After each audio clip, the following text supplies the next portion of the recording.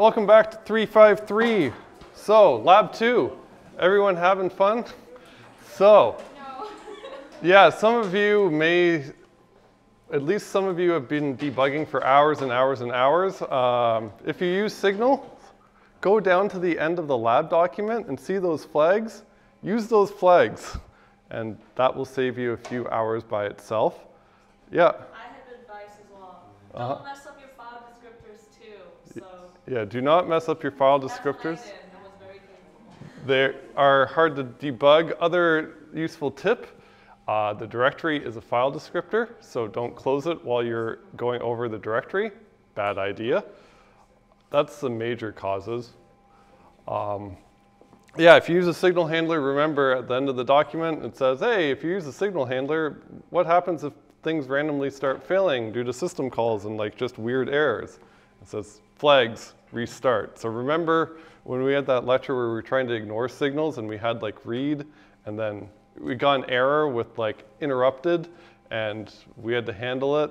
Well, there's a flag for the signal to prevent that from happening, like that SA restart thing, and it'll automatically restart any system call that gets interrupted so you don't have to deal with that. So that's one of the main causes of errors that I've seen so far. Other than that, it's been people messing up their file descriptors. After that, you're golden. So yeah, when you're changing your file descriptors too, bit hard to debug because printf doesn't work. If you screwed up your file descriptors, printf also doesn't work. So that's fun. So one hacky thing you can do that kind of works is just exit with no numbers. So like exit with 42 or 43 or something like that. And then you can debug that way. So at least know where your child process made it to. Um, but yeah, other than that, that one's real fun to debug. All right, speaking of fun to debug, let's continue. So something that's a bit easier, we can go back to scheduling and see you know, another scheduling scheme or algorithm we can use called dynamic priority scheduling. May also be called feedback scheduling in the textbook. And this is a way to have priorities and let the algorithm manage the priorities for you. So you just set an initial priority and then it goes ahead and it adjusts them on the fly. In this case, for this algorithm, it uses set time slices, measures CPU usage across the processes that are running. Idea here is that we just increase the priority of processes that don't get any time in that time slice and decrease the priority of processes that actually get to run during that time slice. So hopefully, you know, through adjusting priorities, we'll be able to be a bit more fair and let every process run. So for this scheme, we can just pick the lowest number as having the highest priority. So each process just gets assigned some priority when started. You know, we can give it names, so P subscript N. And the way the algorithm works is it just picks the lowest priority number to schedule. If that process like yields and gives up its CPU time, then we just pick the next lowest number or next highest priority. And if we have to break ties, we just break it with the arrival order. And if a lower priority number becomes ready, well, we immediately switch to it. So we have preemption, and we assume, well, we have uh, time units, so we can't switch between time units or within a time unit, but we can between. Yep. The formal definition of preemption is you can just take some resources away. So in this case, preemption means, while these processes are using the CPU, means I can stop you from using the CPU and take it away and manage it. So yeah, mostly operating systems like controlling resources, preemptible and non-preemptible. So preemptible, things I can take away. Non-preemptible are things I can't take away. So like if your process wants to use memory or wants to use some files or something like that, I can't just take that away willy-nilly without causing gigantic issues. So we can, yep. What do you mean by if it yields? So if it yields, so that means it can just give up its CPU time. So it can just say, I'm done executing for now, run something else. Oh, Or it could be blocked, like it could be waiting on something. So basically means it just gives up its time. So how this works is we record how much time each process executes for in that, well, we can call it a priority interval. So that's like the interval of time that we will use and we'll recalculate priorities at the end of the interval. And we'll have like Cn, um, we can call it C subscript n. And here timer interrupts still occur, so timer interrupts would probably happen throughout the priority interval, so we can go ahead, recalculate, and maybe context switch to a new process. So at the end of the priority interval, the formula to update the priority of all the processes uh, is, well, the new priority for process n is equal to the last priority for process n divided by 2, so it decays a little bit, so it gets a bit lower, so it's more likely that this process will run, and then plus however much time it has actually executed for. So if it gets to execute in that time slice, then, well, we add to that, so that would get a lower priority, and we would get hopefully a different process running. And then at the end of the and the C is just keeping track of how long that process executed for. So whenever we recalculate the priorities, we recalculate the value of C back to zero for all the processes. So we get to see how long they execute for in the next one. So that's a bit wordy. So we can just have a quick little example. So we can assume for now that all processes just have an initial priority of zero. So we'll say we have four processes ready to execute and arriving in order X, Y, A, B. And the reason that they're named slightly different are they behave differently. So typically uh, with processes, there's like two main ones we care about. So A and B are called CPU bound processes. So they're just doing some calculation. They just want the CPU as much as you will give it to them.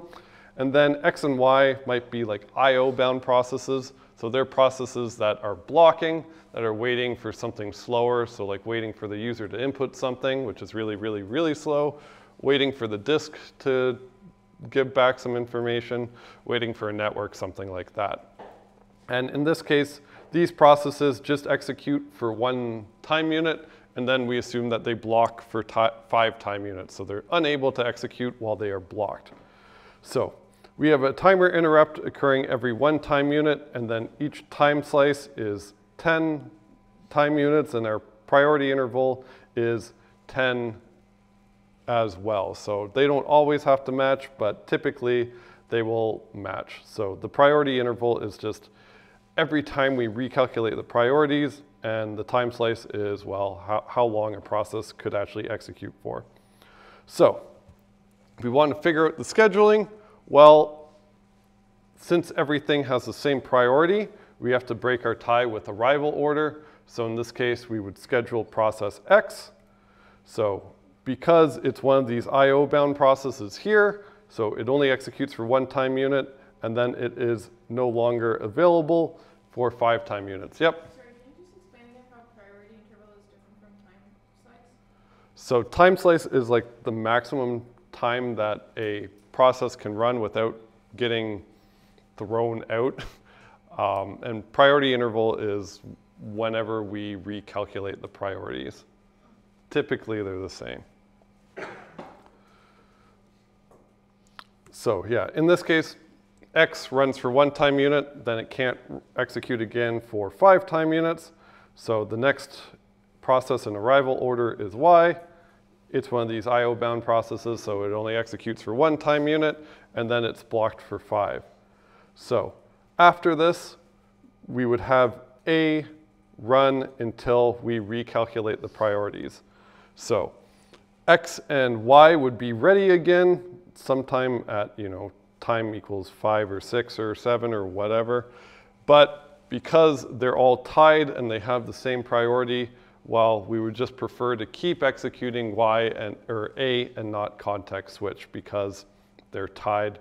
And this you could adjust if you wanted to, but typically it'll just keep on executing A. And then at time 10, we will recalculate the priorities. And yeah, here at time six, X is ready, Y is ready. We don't switch to them yet. So when we recalculate the priorities, well, the initial priority of all of the processes is zero, so that explains this column, and then we just add however long they ran for in that last interval. So in the last 10 time units, X ran for one, Y ran for one, and then A ran for eight. So our new priorities would be 1108, or sorry, 1180, Ooh, backwards. So in this case, well, now we have one process that has the lowest number or highest priority over everything else. So we would just execute that for the next 10 time units. And then, you know, we'd recalculate after that and keep on going over and over again. So we can, yep, I have a question about, yeah, this slide. So, um, isn't X and Y supposed to be blocking for five? yeah, And that, that happens at the same time as A is running? yeah. Yeah, so in this case, like X and Y are blocking, they're waiting for something to happen, like the kernel like made a request to a hard drive or something like that, and then start executing another process. So we can have like a large amount of processes running at the same time. Say if I have twenty of these X's and twenty of these Y's, No, so there's only one process running on the CPU at a time. which is A. Yeah, well, which is here it's X, then it's Y, and then it's A. So there's only one process running on the CPU at a time. So what do you mean by X ready here? So X is unblocked here. So because it blocks for five time units, it means it could execute if we decide to give it the CPU. Oh, so the block here just means that it cannot be executed for the next five consecutive Yeah. Yeah, block just means it needs five time units because it's waiting for like a hard drive or something like that, waiting for something that's slow. So it can't make any progress until that thing is done. So it stops at one. So after five time units, we say it's ready because we could execute it again if we wanted to. But the kernel just, in this case, decides not to. All right, so we can do the same thing, but now processes A and B have a priority of six, and the others have a priority of zero. So because of that, X and Y, well, their priority is zero, so we'd prefer to run those, and X came before Y, so we would run X first. Run X for its one time unit. It gets blocked for five, so it's not available again until time six. So next process is Y, runs for one time unit, blocks for five, so it's not available until time seven. So in this case, well, all the processes with priority zero are blocked, so I have to pick something else to run. So the next highest priority is a six, which is A and B, and A came before B, so I would pick A to run. Now, when X is actually ready to, gets unblocked and it can actually execute again at time six, because it has a higher priority than A, it immediately just kicks it out and we context switch to X. It runs for one time unit and then it gets blocked again for five. And then at time seven, well, Y is ready again, so it would execute for one time unit, then it gets blocked again for five. Then, well, there's nothing else to run but A again, so A would run for the remaining two time units until we have to recalculate the priorities. And if we recalculate the priorities, well, for process X, the initial is zero, ran for two, so its new priority is two. For Y, initial was zero, ran for two, its new priority is two. For A, well, its original priority was six, divide by two, that's three, and then it ran for six. So its new priority is nine, and then for process B, its new priority is just three, because it didn't run for any time. So now because of this, well, at time 10, X is currently still blocked and Y is currently still blocked. So the next highest priority is process B. So I would choose to execute process B for two more time units until x becomes unblocked. So now at time 12, x has a higher, it's unblocked, it has a higher priority than b, so we immediately execute x for one time unit. Again, it gets blocked for five, then y is ready, execute for one, gets blocked for five, and then our next highest available process would be b, so it runs for four, and then x is ready again, it goes x, and then it goes y, and it goes on and on and on like that. So questions about this? It's just one way to just let the algorithm handle the priorities for us. Not terribly exciting, right? But it's a thing you can use. Let's go on to more exciting stuff. We still like virtual memory, right? Ish. No. What the? Uh, virtual memory is great. All right. I will show you why virtual memory is great because you will appear to be a wizard because, you know, LLMs are a thing that people like, right? They're cool, they're hip, they're trendy. So if you have like a 30 billion parameter uh, large language model, well, that model itself is like 30 gigs of RAM, like it's 30 gigs large. And if you have taken this course, you can actually optimize things a little bit. So that 30 billion parameter model can actually run using only like seven gigs of RAM and how? So it's so efficient that people are like, like they don't even believe it. So we can see the discussion if it works. Uh, plus.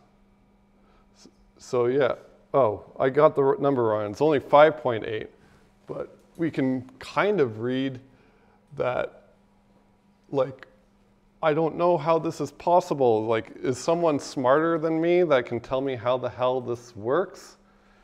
Like, how is this even possible?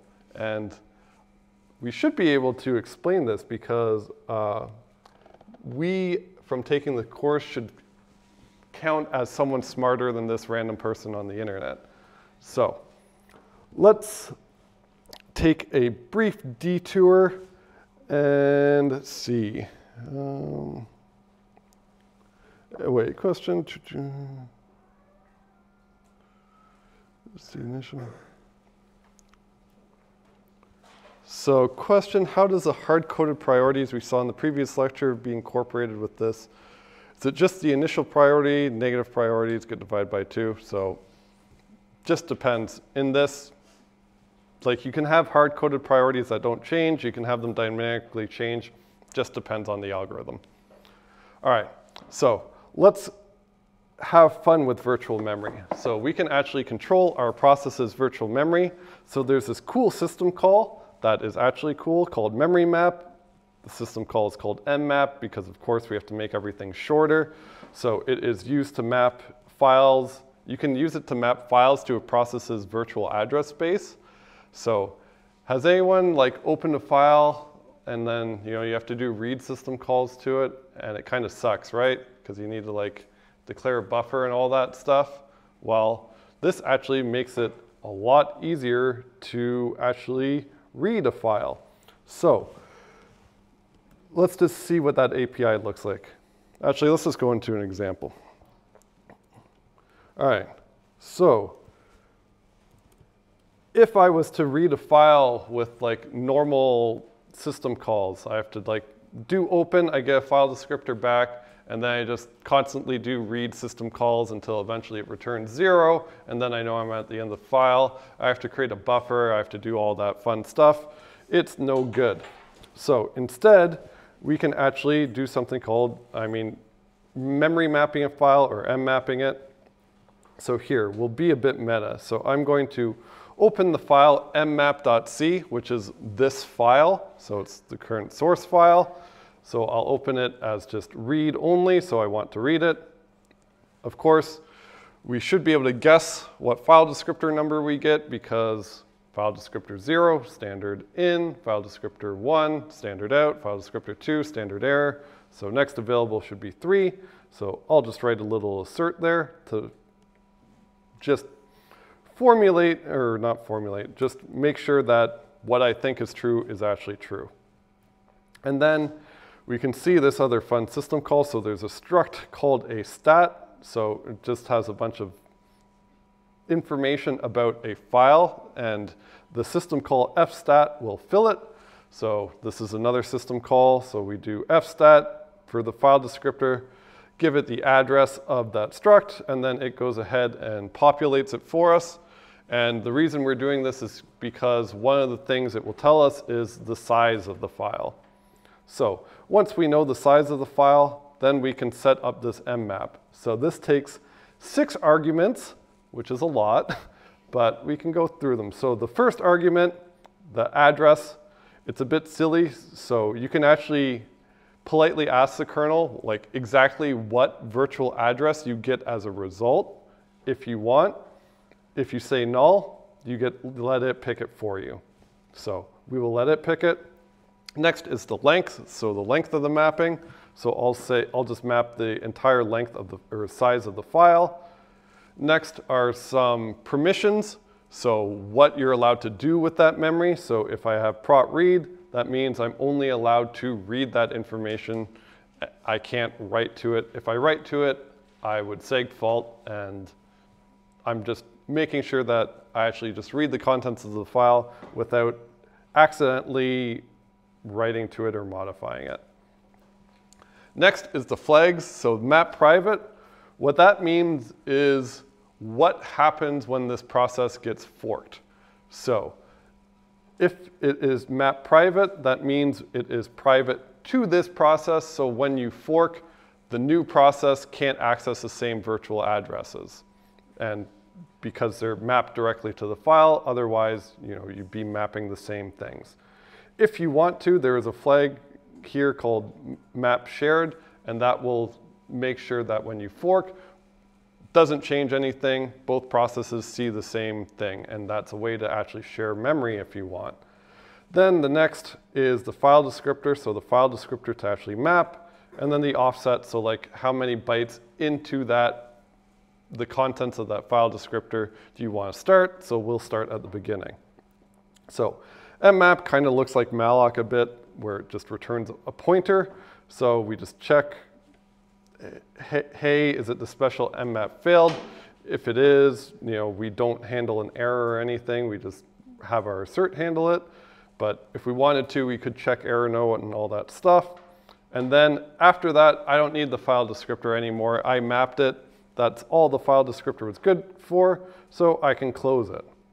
Now, instead of doing read system calls or anything like that, well, I have a virtual address now, and what that points to is the contents of the file. So in order to read the file, I just access memory now. So I just have a for loop that goes over every single byte of the file and then just prints the character.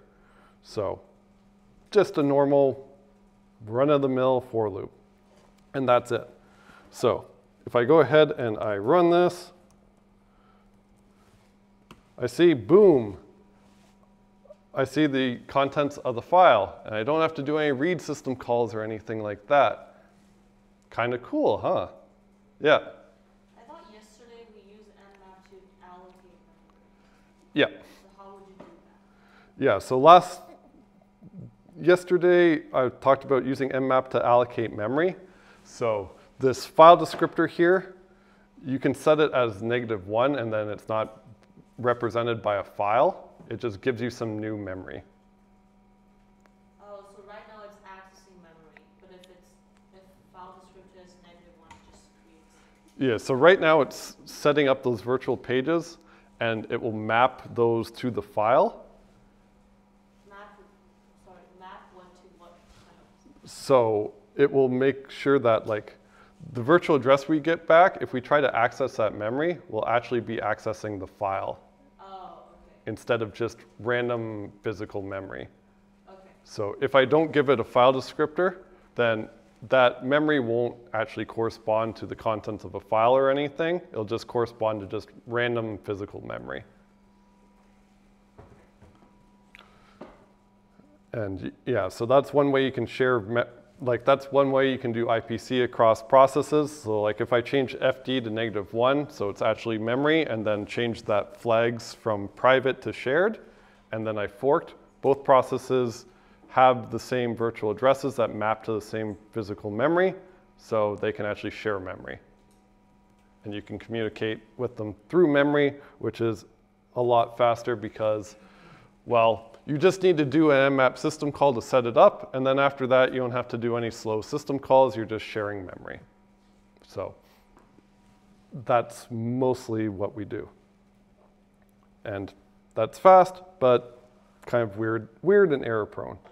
All right, any more questions about this or any weird things we want to do with it? But this is kind of cool, right? Yeah. What is the offset with respect to? Like the offset in the file? Yeah, so the offset is with respect to the contents of the file. So zero just means start at the beginning of the file. If I changed it to, I don't know, let's change it to offset to, oh, then I have to recalculate my size, so I'm not gonna change it, but yeah. Um, for the like protection flag, Mhm. flag, so then it can only be either read only or write only. Uh, yeah, so the question is for the flags, can it either just be read and read only or write only? So you can combine them. So you can combine them. The usual thing with these flags are like they're bit flags. So you can go ahead and do something like bitwise or, and you can do things like that. So that will let you have that memory mapping for reading or writing or and writing. So it'll set both of them. Yeah. Are reading and writing the only two options? Yeah, so the question is reading writing the only two options, and there's at least, so there's execute. So execute is like, you can see how this kind of exactly corresponds to the flags in the page table entry too, right? So like there was, well, this would set the valid bit, but there would be read, write, execute are the main ones. Yeah. So if you set it to execute, would you be executing the entire file, or could you execute like one line of that file? No, if I set it to execute, all that means is that if there are instructions there, like I can execute instructions there. So execute like just, just a few of the instructions, it have to be the entire file? So it just m- means that like those bits, I'm allowed to like essentially point my CPU to it and start executing them. And if you didn't have this, so this would be like some voodoo crap magic thing where I just load some raw instructions into virtual memory and then I essentially go say go to and say go start executing that. And if I set this flag, it'll happily start executing instructions. Um, but if I don't set that flag, I'll probably get like, I'll either get a seg fault or I'll get illegal instruction or some type of error in my process will just, but yeah, only, unless you are doing really low level operating system things, only psychopaths would use that flag. or if you're like trying to hack into something, yeah. As in, like, right now, you're reading mmap.c, which is close to like a text file, not a binary executable, right? So yeah. it really won't make any sense. Yeah, so exe- like adding the executable flag here doesn't make any sense because, I mean, they're ASCII values. So if I tried to execute it anyways, it would just be random instructions that just happen to correspond to the ASCII numbers and it'll probably crash and burn anyways. So doesn't really matter. And, but write, you know, maybe I want to do write because, you know, maybe I want to just read over it and then change everything to, I don't know, an A or something like that, who knows. So if I do that, I don't get any errors. And if I remove the flag, I should see that, you know, bad things happen. So seg fault, yay. So protect, so as I'm now teaching the first years, segmentation faults are actually good because they're easier to debug than just random things occurring and then you have to try and figure it out, which I guess you're kind of learning in lab two. But yeah. Yeah. Wait, uh, I just noticed that even if you write with the pro, right, like with the protection write permission, Uh-huh. like you just uh, wrote data IA, right? Like you Yeah. A to everything, but that didn't seem to change the mmap.c original file. No, because I modified it after I printed it out. Oh. Right? So I could have looped over it again and it would just been all A's. Okay, but it doesn't overwrite the original file, right? No, it do- oh, like the actual file? Because like the actual file. Uh, that's a good question. Hopefully it doesn't. Yeah. So it doesn't doesn't overwrite the original file. Why is that? Uh, Is that it's just a mapping and you technically just copy the original file onto memory? yeah, just copied it into memory in your virtual address space, and then you're just playing with the memory, Right. and Okay. it's fine. But I think there's some flags you can do to actually like modify it and then write it back out. Could you try that with your mmap.c right now? Well, that's just what we did, right? We had it right, and I wrote all A's to it. Without, not just in the memory, but the actual file, like, could you end up like actually breaking your code again using that function? Like, does that make sense? So right, right now it's just when that process is running and then it doesn't like write it back out to disk or anything like that. Yeah, Yeah, and I forget how to force it to, but this, this did not. But I think there's a way to force it to, but I don't know it off the top of my head. All right, so that's kind of cool and kind of weird. So, yeah, there's our example. Anything else weird you want me to do with it? Yeah. For the example, if you have the data i equals to a, but then you change the flag to right, so it doesn't change the file, but it, it'll print out all a's. So in this case, it didn't print out all A's because I changed the byte to an A after I printed it. Oh, but what? Okay, but what if you print after you? Yeah, so if I do like, right. So if I just, you know, looped over it again, oops, then I'm going to see a bunch of A's.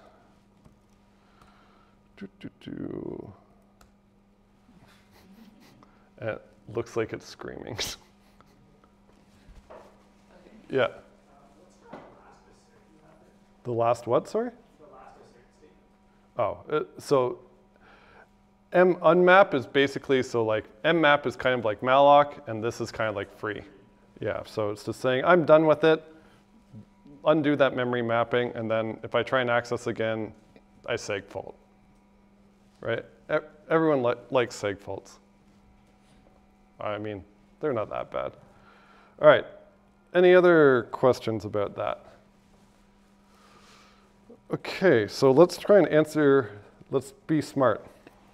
So, mmap is actually lazy, especially, well, even if you don't like back it with a file or anything like that. So all that mmap call will do is set up the page tables. Whenever you do that, it doesn't actually read from the file. So what it actually does is it creates like an invalid page table entry during that mmap call, and it sticks some information there that's like, okay, if you, someone tries to access this, they actually want to access, you know, this file through this file descriptor. So it just stores some information in that page table entry. Again, like where on disk is this entry. And then the first time we try to access that page, our MMU would call as like a page fault because it wouldn't be valid, right? Well, instead of just passing a seg fault up to your program, the kernel in its essentially its interrupt handler can be like, oh, okay, you faulted at this page table entry. I know that's supposed to be the file, so I'll just go ahead and read a page worth of content from that file, and I'll map it, and I'll, like I'll fix up the entry, read it into a physical page, change the mapping to point to that physical page, and then just let the process resume again. And then now you're actually accessing the contents of the file through that. And this actually ensures that only the parts of the file that get read, like only the parts of the file you use actually get read.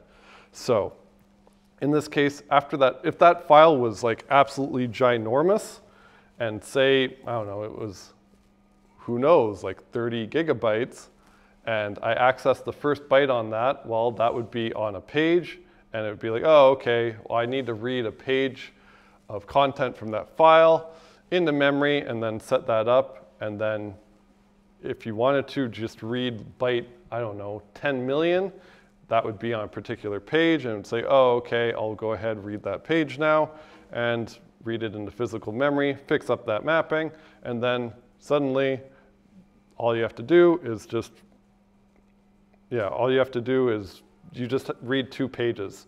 It Doesn't matter how big the file is. So if we go back to that question, how is this possible? So it could be a 20 gig file, 30 gig file. How is it possible that it only uses like 5.8 or 6.8 gigs of real memory? So the reason because this is, well, whoever wrote the first version of the process or program, like just loaded the entire model into memory, whether or not you used it or not. And then some very smart person who has probably taken a course like this, or at least played around with the kernel, was like, okay, well, when you do model inference, they're typically sparse. You don't use all of it. So instead of reading the contents of a file that has contents I might not touch, what did they do? They M-mapped it. So they just did like a one-line change where instead of doing read system calls over and over again, they just did one mmap system call. That was it. And that's it. They just mmapped it. That was the whole wizardry behind that. So questions about that wizardry. So they immediately cut off like, was that like 24 gigs of memory that the process used by just doing mmap. Pretty good trade-off for you know having to sit through and doing and listening to me drone on about virtual memory for a while. So you can actually get some real savings from it. And yeah, so the question, why would mmap use less memory here than read? So again, this is a sparse file, so we wouldn't actually access all of it. So all we have to do is actually set up the page tables. So mmap, again, like I said, all that does is set up the page tables so I know if I try and access that memory, well, you know, where I actually have to load things into physical memory. So if we have you know, a 20 gig file, can we come up with how much space we would actually need for the page tables? And do a bit of review. Every, everyone likes virtual memory, right? So, so uh, I'm M mapping. A 20, let's just say 20 gigabyte file for the sake of argument.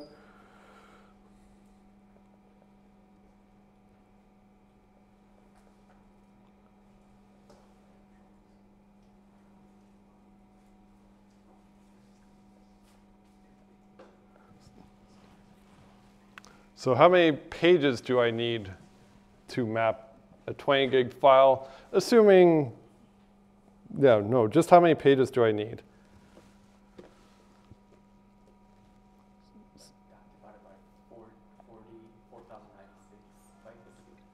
Yeah, so kind of. So this number, so like 20 times 2 to the 30, divide by what? Divide by 2 to the 12. Yeah, so that's how many pages I would need, right? So what's that? That's like 20 times uh, to the 18, which is some weird number. So that is how many pages I need. How much space would be consumed by the page table entries?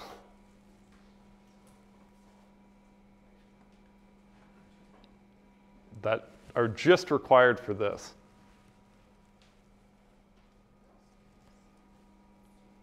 So Each page is two to the nine entries.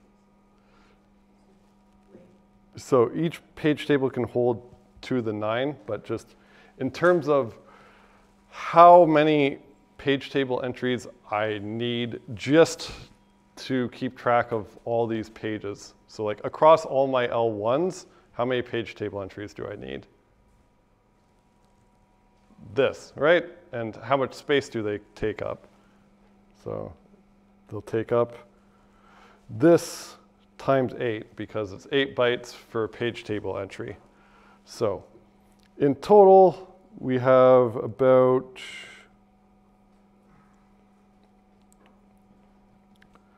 Forty megabytes. So 40 megabytes for the page tables is the answer someone gave on this post. So is that actually true?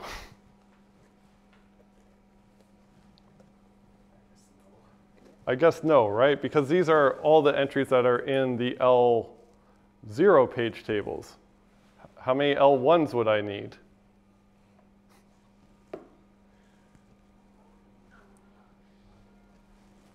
In the best case, yeah.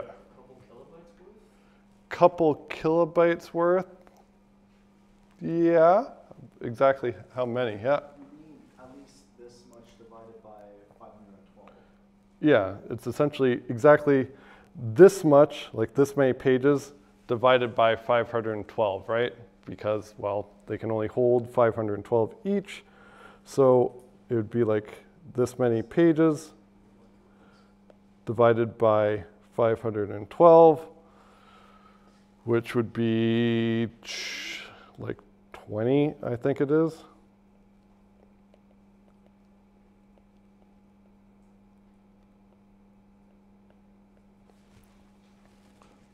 Which, yeah, that is a lot. And then, well, we only have one L2 page table that we can assume to be there.